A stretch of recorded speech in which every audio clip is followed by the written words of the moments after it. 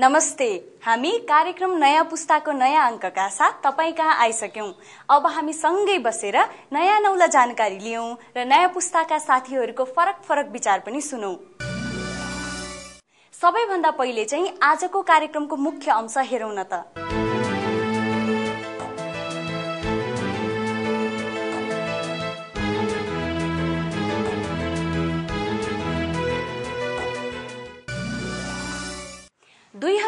उनसत्तरी साल चैतमा भएको एसएलसी परीक्षाको नतिजा दुई हजार सत्तरी साल जेठ अठाइस गते प्रकाशित भयो।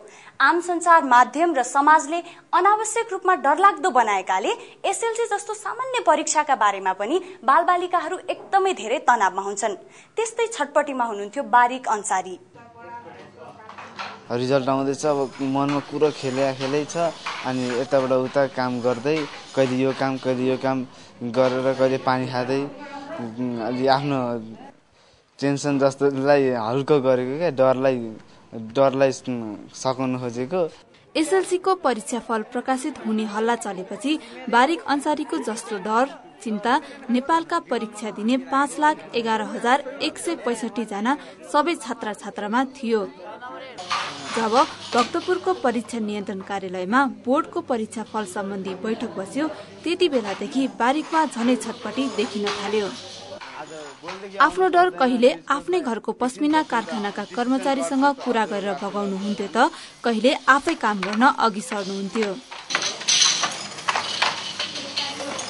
मोबाइलबाटै परीक्षा फल थाहा पाउन सकिन्छ भनेर छिनछिनमा मोबाइल पनि हेर्दै हुनुहुन्थ्यो। सहनै नसकेपछि साथीलाई फोन गर्न व्यस्त हुनुहुन्थ्यो उहाँ। डर भन्ने कुरो धेरै लागिरहेको छ मलाई। डर डिसिसन आउँछ कि सेभेन्टी नाइनमै रोकिन्छ कि कस्तो हुन्छ कि धेरै डर लागिरहेको छ मलाई। नभन्दै दिउँसो दुई बजेपछि एसएलसी परीक्षा फल नेट र एसएमएस मार्फत आउन थाल्यो। परीक्षाफल प्रकाशनपछि आयोजित पत्रकार सम्मेलनमा यो वर्ष नियमित तर्फबाट एकचालिस दशमलव पाँच सात प्रतिशत अर्थात एक लाख सडसठी हजार नौ सय पैंतिस विद्यार्थी र एक्जामटेड तर्फबाट सात दशमलव सात छ प्रतिशत अर्थात आठ हजार तीन सय अठार विद्यार्थी पास भएको जानकारी दिइयो। पाँच लाख एघार हजार एक सय पैंसठी जना विद्यार्थीले परीक्षा दिएकोमा जम्मा एक लाख छयत्तर हजार दुई सय त्रिपन्न जना पास भएका छन्। एसएलसी पास हुनेमा बारिक अन्सारी पनि पढ्नुभयो। उहाँले छयत्तर दशमलव छ दुई प्रतिशत ल्याएर पहिलो श्रेणीमा पास गर्नुभयो। बारिक र उहाँको साथीहरूले नजिकको साइबरबाट परीक्षाफल थाहा पाएपछि एकअर्काको अङ्कबारे छलफल गर्न सुरु गर्नुभयो। समूहको सबै साथीहरू पास भएपछि एक आपसमा खुसी बढ्न थाल्यो। यतिभन्दा एभब सोचेको तर सेभेन्टी सिक्स मात्र आउँदाखेरि धेरै एकदम नेगेटिभ फिलिङ आइरहेछ क्या। तर पनि म यसलाई पोजिटिभ फिलिङ लिएर राम्रो प्लस टूमा राम्रो गर्छु। सोचेको भन्दा थोरै प्रतिशत आए पनि बारिक आफू पास भएकोमा खुसी हुनुहुन्थ्यो। त्यसैले यो खुसियाली कारखाना र परिवार सबैमा छायो। झन् बुवाले त उहाँलाई तीन हजार रुपियाँ इनाम नै दिनुभयो। पढाइ अनुसार पाउनुभयो एक्सपेक्टेड थियो नै त्यति मार्क्स ल्याउनुहुन्छ भनेर। त्यत्रो मिहिनेत गर्नुभएको थियो। मिहिनेतको फल राम्रै आएको छ। त्यसको भोलिपल्ट विद्यालयमा मिठाईको साथ खुसी साट्न व्यस्त नै हुनुहुन्थ्यो बारिक। बारिक त पास हुनुभयो तर एसएलसी दिने मध्ये तीन लाख त्रिचालिस हजार दुई सय तीसजना विद्यार्थी अर्थात् अन्ठाउन्न प्रतिशत भन्दा बढी विद्यार्थी फेल भए। तीमध्ये धेरै विद्यार्थी सामुदायिक विद्यालयका छन्। यसको कारण के हो त? हामी कहाँ पढाउने तरिका नै नमिलेको हो कि परीक्षा लिने शैली नै गलत हो? यो लाइन एसएलसीमा फेल भएका विद्यार्थीहरूको हो। विभिन्न जिल्लाबाट आएका विद्यार्थीहरू पास भइने अन्तिम आशाका रूपमा आफूले पाएको अङ्क फेरि जोडेर हेर्न पाऊ भन्दै परीक्षा नियन्त्रण कार्यालय सानो ठिमीमा निवेदन दिन लाइनमा बसेका छन्।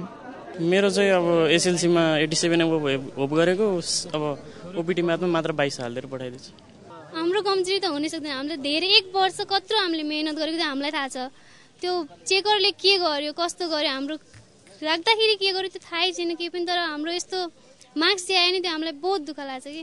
बाह्र वर्षको मेहनत आज रिजल्ट राम्रो सुन्न पाइएन नराम्रो लागिरहेको छ दोषी त अब परीक्षा नियन्त्रण कार्यालयको हुनुपर्छ किनकि परीक्षा सबै परीक्षा फलहरू उसकै नतिजा प्रकाशन गर्ने अनि पेपर चेक गरेर उसकै मातहत हो क्यारे फलामे ढोका भनेर प्रचार गरिएको एसएलसी परीक्षाको नतिजा वर्षै पछि खस्किँदै गएको छ।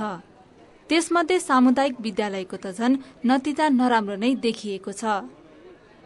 समस्या के हो भने उनीहरू नियमित रूपले विद्यालयमा गइदिएनन् पढाइदिएनन् भन्ने समस्या हो। उनीहरूले राम्रोसँग पढाइदिने हो भने अहिलेको नेपालको सरकारको जुन सामुदायिक विद्यालयहरू छन् त्यो जतिको स्तरीय विद्यालय निजी विद्यालय छैन।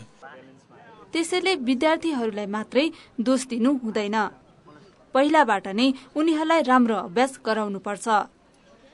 तल्लो कक्षामा हामीहरूले राम्रोसँग पढ्यौँ राम्रो वातावरण पायौँ राम्रो मेहनत गर्यौँ कक्षा एक दुई तिनदेखि नै भने एसएलसीसम्म आइपुग्दा हामीहरूलाई समस्या हुँदैन। एसएलसीमा मात्र होइन जीवनमै राम्रो नतिजा ल्याउनका लागि बालबालिकालाई आमा बुबाले सानैदेखि नै बानी बसाल्नुपर्छ र शिक्षकले पनि मेहनत गर्नुपर्छ। तिनीहरूलाई हतोत्साहित गर्ने निराश बनाउने र उल्टै झम्टिने काम चाहिँ अभिभावकले गर्नु हुँदैन। यो ज्यादै एकदमै सेन्सिटिभ टाइम हो त्यो विद्यार्थीको लागि। वर्षपछि यस्तो नतिजा खस्कनु कमजोर विद्यार्थी र उनीहरूको लापरवाही मात्र होइन। यसमा शिक्षक तथा शिक्षा क्षेत्रमा काम गर्नेहरूले पनि उत्तिकै ध्यान दिनुपर्छ। अहिले र विगतका तीन चार वर्षका रिजल्टले के देखाएको छ भने हामी शिक्षामा काम गर्ने मान्छेहरू फेल भएका छौँ विद्यार्थी फेल भएको होइन। त्यसैले अब हामी कसरी पास हुने त्यो विषयमा शिक्षकहरूले र हामीहरू सबैले सोच्नु जरुरी छ। परीक्षामा दुई विषयसम्म फेल हुने विद्यार्थीका लागि पूरक परीक्षाको व्यवस्था गरिएको छ। त्यो परीक्षा आगामी साउन बीसदेखि सत्ताइस गतेसम्म सञ्चालन हुन्छ। अब एकछिन गएको साताका खबरहरूको सार संक्षेप सुनौ साथी संस्कृति चालिसेबाट। काठमाडौँमा सड़क विस्तारको क्रममा चक्रपथको कोटेश्वर कलङ्की सड़कमा रहेको एक हजार दुई सय रुख काट्ने विरोधमा युवाहरूले बसन्तपुरदेखि सड़क विभाग बबर महलसम्म जेठ छब्बिस गते र्याली निकालेका थिए। उनीहरूको नारा बाह्र सय रुख थाल्नुभन्दा पहिला बाह्र हजार रुख रोप्नुपर्छ भन्ने थियो। यही जेठ तेह्र गते आयोजना गरिएको निशुल्क स्वास्थ्य परीक्षणमा बालुवाटारको श्री महेन्द्र राष्ट्रिय उच्च माविका विद्यार्थीहरू सहभागी भए। उनीहरूले त्यहाँ आफ्नो स्वास्थ्य परीक्षण गराएका थिए र चिकित्सकबाट आवश्यक सल्लाह र औषधिहरू पाएका थिए। रिड नेपालले बौद्धको सेचेन क्लिनिकसँग मिलेर शिविर सञ्चालन गरेको थियो। भक्तपुर खप उच्च माध्यमिक विद्यालयको तेह्रौं र खप कलेजको एघारौं वार्षिक उत्सवको अवसरमा जेठ तेइस चौबिस र पच्चिस गते शैक्षिक प्रदर्शनी गरेर मनाइएको थियो।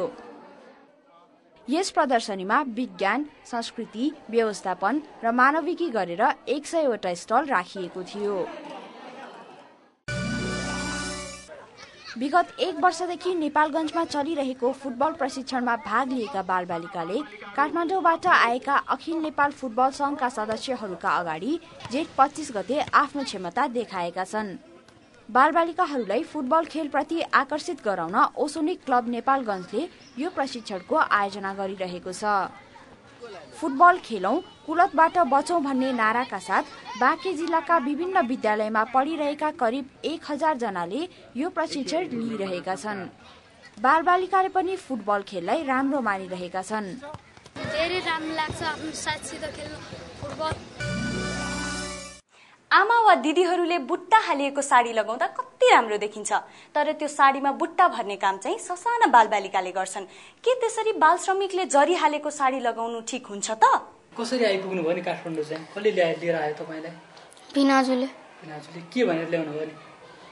यहाँ पर्दैन हेर्नु म त्यहाँ काम सिकाइदिन्छु र त्यही काम गर्नु बिहान कति बजीदेखि बेलुका कति बजीसम्म काम गर्नुपर्छ तपाईँले? बिहान आठ बजीदेखि बेलुका बाह्र बजीसम्म। निन्द्रा लागेपछि कुर्छ गाली दिन गाली गर्छ। कसले नि? साउले के भन्छ? भन्छ साले काम गर्ने कि निन्द्रा सुताउनु सुत्ने? तपाईँको मनमा चाहिँ के कुरा लाग्छ?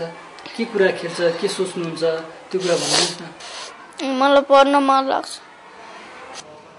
गङ्गाराम जस्तै समस्यामा छन् रोज्वा दिलीप र मुकेश पनि।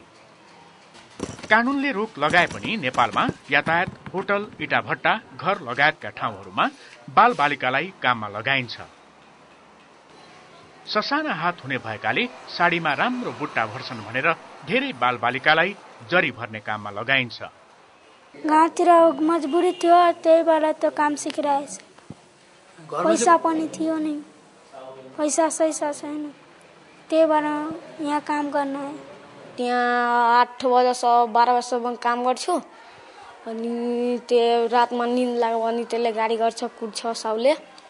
अनि सबेरे सात बजी जानिन्छ एक घन्टा। मलाई भन्छ कुलाउला गर म काम जान्छु भक्तपुर क्षेत्रमा बाल श्रमिक हटाउन थालेपछि त्यस्ता जरी भर्ने कारखाना अहिले काठमाडौँको नरदेवी थानकोट मेपी लगायतका ठाउँहरूमा सारिएको छ। यी कारखानामा सर्लाही महोत्तरी लगायतका गरिब बालबालिकालाई काममा लगाइन्छ। काठमाडौँ भक्तपुर ललितपुर तिनवटा जिल्लाको सर्वेक्षण गर्दाखेरि हामीले करिब पाँच सौजना बालबालिकाहरू चाहिँ हामीले चौध वर्षभन्दा मुनिको पाएका थियौँ। र त्यस पश्चात हामीले भक्तपुर जिल्लामा जिल्ला प्रशासन कार्यालय भक्तपुरको इनिसिएसनमा चाहिँ त्यहाँ उद्धार गर्यो एक सौ सत्ताइसजना बालकहरूलाई। त्यस पछाडि अहिले पछिल्लो समयमा चाहिँ ती बालकहरू त्यहाँ उद्धार कार्य भइसकेपछि चाहिँ अहिले काठमाडौँ जिल्लातिर बढी मात्रामा यस्ता बालकहरूको प्रयोग भएको पाइएको छ। अंग्रेजी महिना जुन बाह्रका दिन विश्वभरि नै बाल श्रम विरूद्धको दिवस मनाइन्छ। यो दिवसमा यसरी विभिन्न तरिकाले श्रम गर्ने बाल बालिकाहरूको हितमा आवाजहरू उठाइन्छ। यो वर्ष नेपालमा पनि बाल श्रम दिवस विभिन्न कार्यक्रमहरूको आयोजना गरेर मनाइयो। घरेलु काममा बाल श्रमको प्रयोग नगरौं भन्ने नाराका साथ काठमाडौँमा एक र्यालीको आयोजना गरियो। हामीले बाल श्रमको प्रयोग गर्दैनौँ र अरूले गरेको पनि सहँदैनौँ भन्ने प्रतिबद्धता व्यक्त गर्नु परेको छ। काठमाडौँको टोखाभरिका बालबालिकाले सामुदायिक वनमा बिरुवा रोप्दा खुब रमाइलो भएको थियो। आउनु हामी पनि त्यही रमाइलो गर्न जाउँ। बिहानको आठ बजिसक्यो। अरू दिन भए विद्यार्थीले बिहानको खाना खाएर विद्यालय जान तयार हुनुपर्ने समय हो तर जेठ अठाइस गते चाहिँ काठमाडौँ टोखाका विद्यार्थीहरू विद्यालय जानुको सट्टा टोखा बजार घुमेर भूतखेलको इन्द्रायणी सामुदायिक वनमा जम्मा भएका छन्। इन्द्रायणी सामुदायिक वनले आफ्नो वार्षिक उत्सवको बेला टोखाभरिका मानिसलाई बिरुवा रोप्नका लागि निमन्त्रणा गर्छ। यहाँ जम्मा भएका विद्यार्थी पनि बिरुवा रोप्नका लागि आएका हुन्। रुख जोगाए वातावरण जोगिन्छ भन्ने कुरा किताबमा पढेका विद्यार्थी आफै बिरुवा रोप्न सहभागी भएका छन्। साथीहरू सबै मिलेर रुख रोपिरहेछौँ। सबै स्कुलको स्टुडेन्ट्सहरू इन्भल्भ भएर सँगै रुख रोप्न पाउँदा खुसी लागेको छ। यो वनमा बिरुवा रोप्न थालिएको दस वर्ष भइसक्यो। दस वर्ष पहिले रोपेका बिरुवा अहिले फुल फुल्ने भइसकेका छन्। टोखाभरिका विद्यालयका विद्यार्थी एकै ठाउँमा जम्मा भएर गरेको यो कामबाट धेरै विद्यार्थीले रमाइलो मानेका छन्। अब हाम्रो वातावरण पनि धेरै नष्ट भइरहेछ यो जनसङ्ख्या बढेर अनि हामीले रोपौँ रोप्नुपर्छ अलि राम्रोसँग। धेरै राम्रो भइरहेछ सबै स्कुलहरूको आउनु भइरहेछ विद्यार्थीहरू सबैजना मिस सरहरू सबैजना आउनु भएको छ। कतिजनाले गाईहरू यहीँ पठाइदिनुहुन्छ अनि हामीले रोपेको के काम भयो र त्यसैले यसको संरक्षण गर्नलाई पहिला चाहिँ अवेरनेस प्रोग्राम नै दिनुपर्छ। यो वर्ष झन्डै चार सय विभिन्न प्रकारका बिरुवा रोपिएका छन्। फरक फरक विद्यालयका विद्यार्थीहरू एकै ठाउँमा जम्मा भएर गरेको यो काम धेरै विद्यार्थीका लागि व्यावहारिक रूपमा वातावरण शिक्षा सिक्ने मौका भयो। यस्तो काम देशभरिका धेरै विद्यालयका लागि उपयुक्त हुन सक्छ। कार्यक्रमको पन्ध्र मिनटको समय त सकिसकेछ। तपाईँसँग कुरा गरिरहँदा मजा आइरहेको थियो। तपाईँले चाहिँ कस्तो लागिरहेको थियो नि? आफ्ना अनुभव थाहा पाउन मन लागेका कुराका बारेमा हामीलाई भन्नुहोस् ल। त्यसका लागि तपाईँले स्क्रिनमा देखिएको ठेगानामा लेखेर पठाउनु पर्नेछ आउँदो शुक्रबार साँझ साढे छ बजे तपाईँलाई भेट्न हामी फेरि आउँछौ। बाई!